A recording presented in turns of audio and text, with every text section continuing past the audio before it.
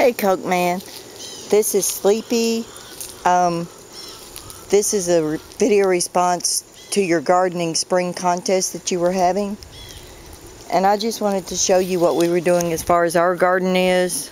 Um, and for you thinking what you're offering as prizes is small, let me tell you that is not a small prize. Anyone who gardens knows that seeds are very important but they're important for people who live in the suburbs too who maybe don't have the property to grow food but you can do it in containers but you got to have the seeds to do it. So this is an awesome contest and the prize is really good. So I'm just going to show you a little bit of what we're doing. Uh, it may not be good for everybody but we'll see how it works for us. Right here are our green beans. And really don't have to do a whole lot with these. Our main problem right now with our beans is the squirrels. In the morning they're down here just running and playing and flipping and tossing and running all over everything and I thought well they're going to kill our plants but I've looked at them. They haven't hurt them. They're doing good. Over here are our tomatoes. And you're thinking, wow, why would anybody plant so many tomato plants? Well, I didn't start with this many. If you'll see the row that here that's got the baskets, this is actually what I got to start with, and these are the heirloom beefsteaks. They were, um, how much were they? I'm thinking they were $3.48 a piece at Home Depot, and Walmart had them for $3.38 so I had bought 18 of them, you know, because I thought, man, that's high for a tomato plant. But they are heirlooms and we'll be able to harvest the seeds, which I'm going to learn how to do. And if you look here, I went to another store in our community and they had the heirloom Roma tomatoes. And they were four plants for $1.48. So you know what? I bought all they had. There's 40 plants here. And uh, they're doing good. And I plan on putting up a lot of tomato sauce and tomato juice and canned tomatoes. So hopefully there's enough tomatoes here to put up. But as far as um, as far as gardening, we don't have a whole lot of money right now because you know work isn't as busy as what it should be. So we were putting baskets around our tomato plants and my husband thought, well, we've got some old fencing out here from where we'd set up our chicken pens and our dog pens and whatever and he took that and he cut it and he he made a ring around the tomatoes.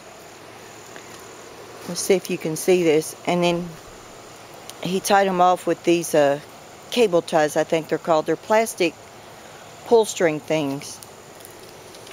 And the post in the ground, it's what he could find. Here's some metal piping he had. Here's some PVC we had that he actually tied up um, to protect our plants and when they're ready to produce.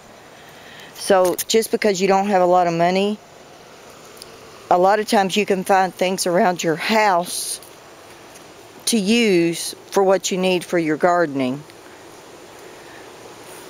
Um, we also let me see if you'll hold on. I'm going to take you to the back because we've got some squash plants back here and we noticed they had a what they call a powdery mildew.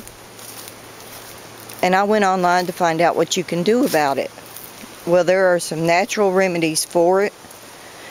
Most stuff everybody keeps in their house and I didn't know how it worked but I'm going to tell you it worked and it takes a dishwashing liquid baking soda and water sprayed on the plant.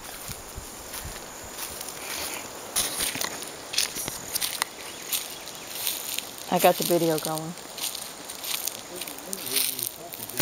I'm talking to myself.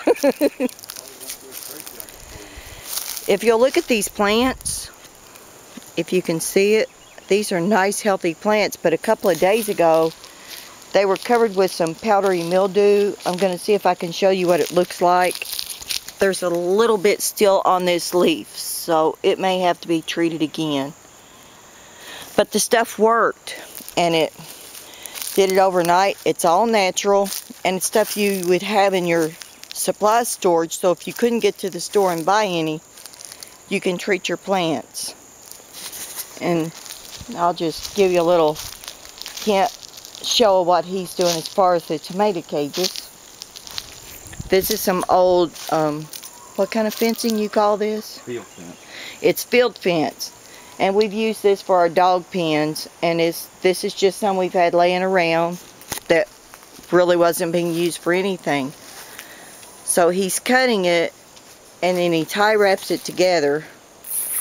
He sets this over the plant. He makes a stake of what he can find around here which we're about to run out of stuff. We may have to go try and buy some stuff.